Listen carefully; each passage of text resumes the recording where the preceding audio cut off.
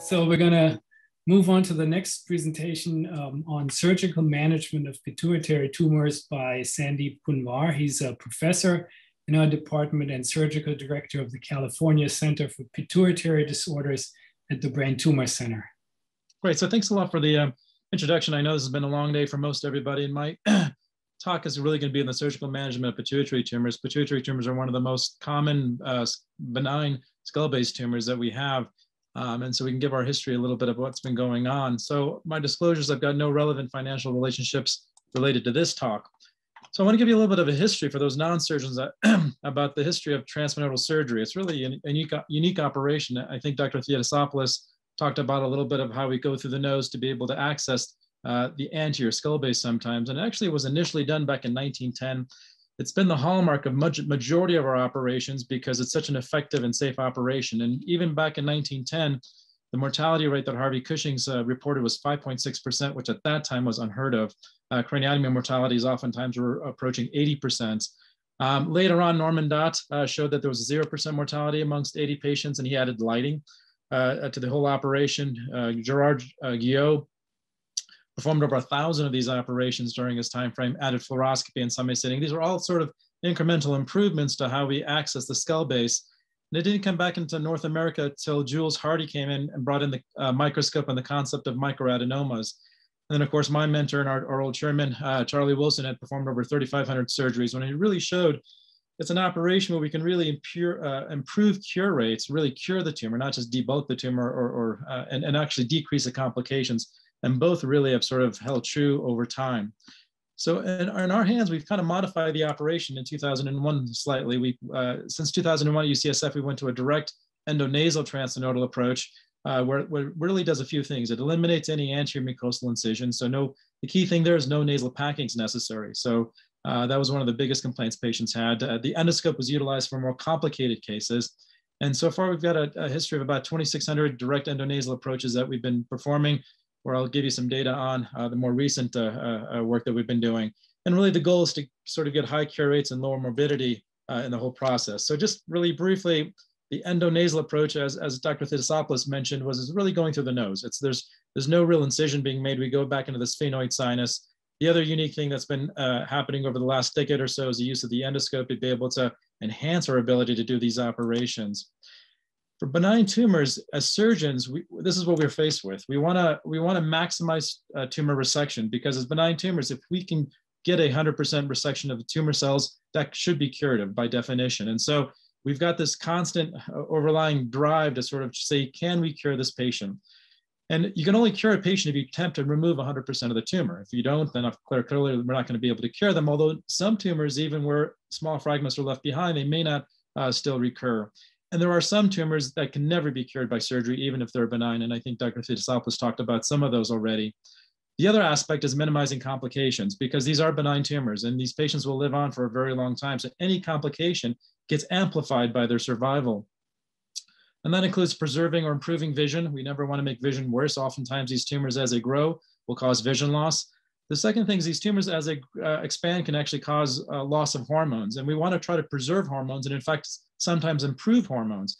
And we'll talk about the preservation, but uh, Dr. Aghi and our group actually showed that in 30% of our patients, we can actually improve the function of the pituitary gland. And although uh, hormonal replacement therapies exist, they, we don't do as good of a job as the, the, the normal gland does. And there's a Lancet paper uh, in UK looking at patients with hypopituitarism. And despite hormonal replacement therapy, the odds ratio of mortality was 1.9 in these patients. So if the gland is working, we want to keep the gland working. Of course, we want to minimize risks of spinal fluid leak that can lead to meningitis. And the pituitary gland is set between the, uh, the carotid arteries and below the anterior cerebral arteries. We want to minimize arterial injury because again, these are benign tumors. So this is the balancing act that we always have of maximizing resection, but really minimizing complications uh, when we can in these patients. And I talk about this in several different groups. And, and one of the factors I always think about with that influence surgical outcome is one, the surgeon patient relationship. Remember, we're not just treating a tumor, we're treating a patient. And I think that has a big impact uh, in, in, this whole process. Of course, we talk about surgeon training and surgeon experience. And perhaps with skull based surgery, as Dr. Theodosopoulos was mentioning, surgeon experience comes in uh, very heavy here. So the anatomy we're talking about that you saw a little bit about is, is the pituitary gland, which on a coronal view, you can see the optic chiasm right above the tumor uh, the infundibulum and the pituitary stalk. And the most critical structure is the cavernous sinus we'll keep talking about uh, when we're talking about pituitary adenoma specifically, is that why can't we cure all these tumors? Well, it's because of perhaps invasion of the cavernous sinus. To a lesser degree, firmness and vascularity can have an impact, but reality is now we've got tools and techniques to be able to deal with firmness and uh, vascularities. And of course, there's always the fundamental biology of the tumor, which we're now understanding a little bit more about.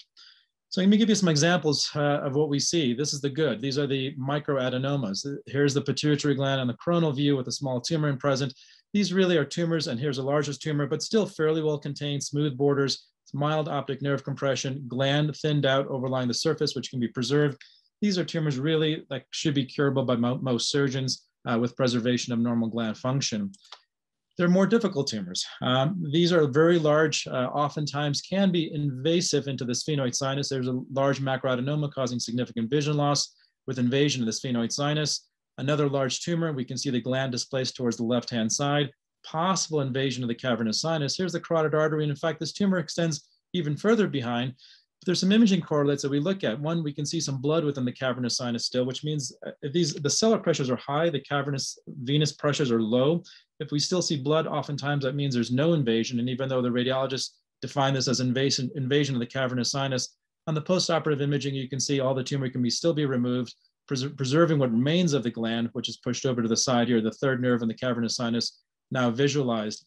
And of course, tumors that invade into the sphenoid sinus should not deter us from, from getting a gross total resection. So even these more complicated cases now, we've got surgical techniques that we can actually still cure them.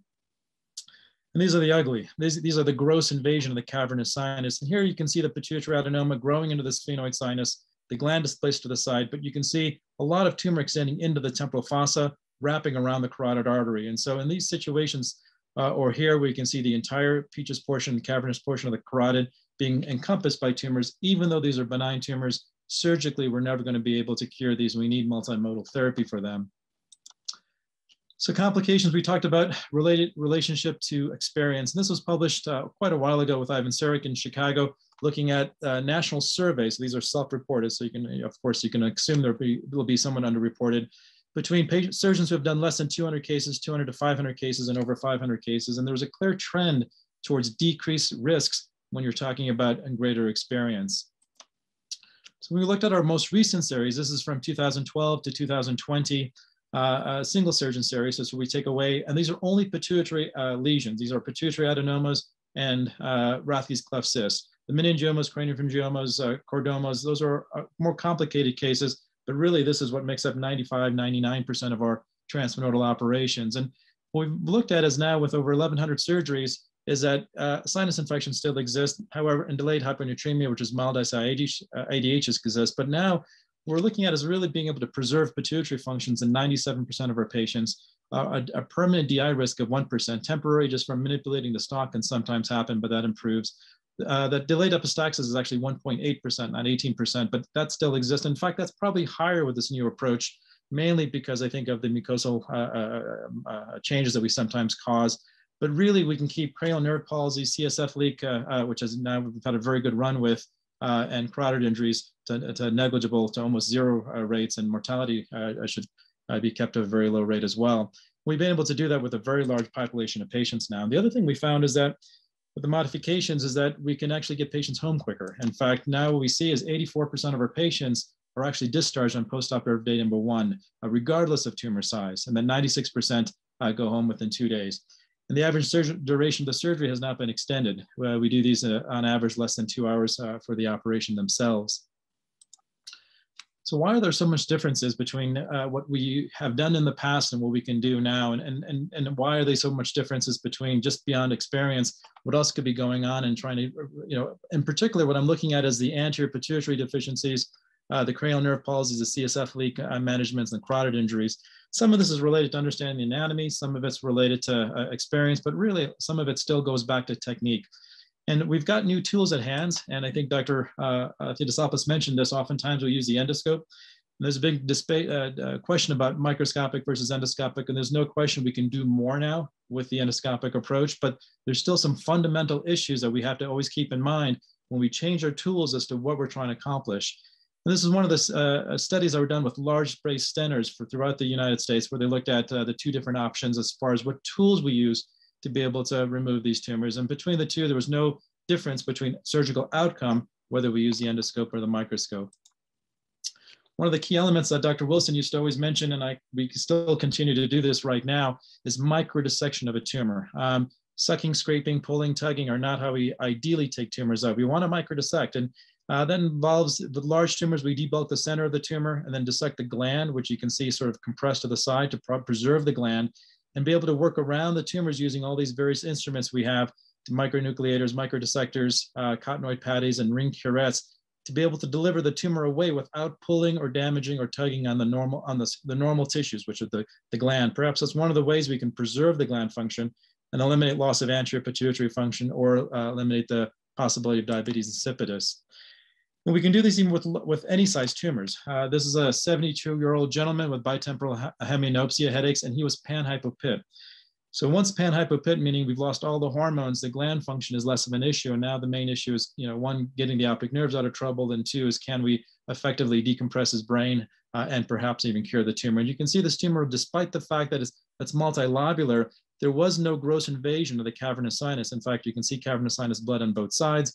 Uh, there's definitely extension on the sagittal views all the way up into the third ventricle with some lobules there. But with the combination of microdissection and endoscope, again, using all the tools we have to be able to uh, give the best results, we can still take out even very large tumors here.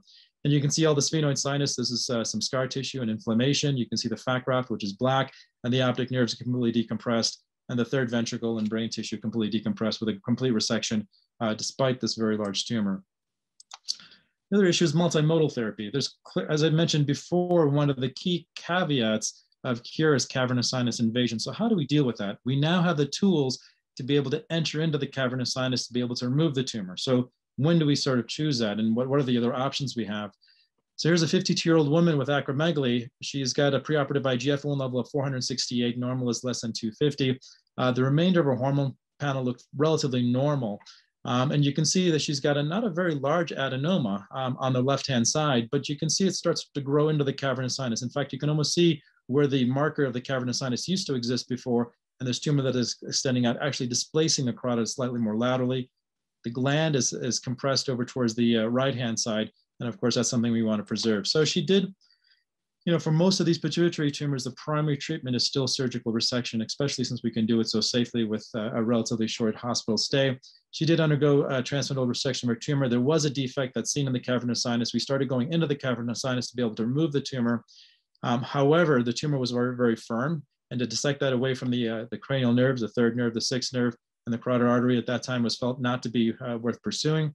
Um, and she tolerated the operation well. And this is what we saw in the postoperative MRI scan the most important things we were able to, these pituitary adenomas as a unique feature do not penetrate into the gland or invade into the gland. We can always develop a pseudocapsular plane to develop a, to develop a clean plane between the gland and the normal and the uh, tumor itself. So there's a cavity within the uh, sella. The gland had re-expanded to fill the space. Of course, you can see the residual tumor now wrapping around the uh, carotid artery. And in her case, her postoperative IGF-1 level came back to 158. So now the question is, what do we do? She's in remission of her acromegaly, but we know she's got residual disease. So with the help of uh, Arie Perry and, and uh, uh, others, we've kind of started a prototype or, or, you know, the WHO designation of pituitary tumors has changed now. There's no longer a atypical version of these tumors anymore. So we look at more molecular and genetic markers. So we look at PIT1, which is a, a transcriptional factor, and it was diffusely positive. In fact, it was positive for prolactin, positive for growth hormone, positive for TSH. And the MIB1 index or the labeling index was 5.6, which is quite high for pituitary adenomas. Typical is less than 2%. So clearly in the olden days, we'd call this an atypical adenoma, but it definitely has features of a, of a plurihormonal, more primitive uh, type of tumor. So we knew that this was gonna be a more aggressive tumor and the likelihood of recurring was gonna be much higher. So going back to treating the small lesion that's on the uh, cavernous sinus, despite the fact that she's in remission, um, medical therapies we know can work for true uh, uh, growth hormone secreting tumors, and she was SR uh, uh, receptor positive, so she could have a response to this. Um, but our primary goal was to uh, control her growth of the tumor. And so since her IGF-1 is normal, we don't have a good marker to be able to manage medical therapy. Observation could have been an op option if the pathology didn't show these atypical features, which make, made us more concerning. So in this particular case, we actually treated her with gamma knife radiosurgery. And this is the advantage we have with this sort of dual type approach is that by surgery, we can remove the tumor next to the gland. We know there's no microscopic disease left. So we can actually target just the cavernous sinus portion of this.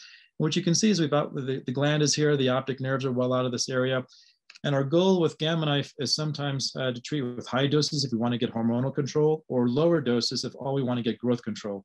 So we were able to treat her to 18 gray. The pituitary stalk and the chiasm dose was less than six gray, which means essentially her risk for uh, optic nerve injury or pituitary dysfunction would be less than 5%. For pituitary dysfunction, less than 1% for optic nerve injury.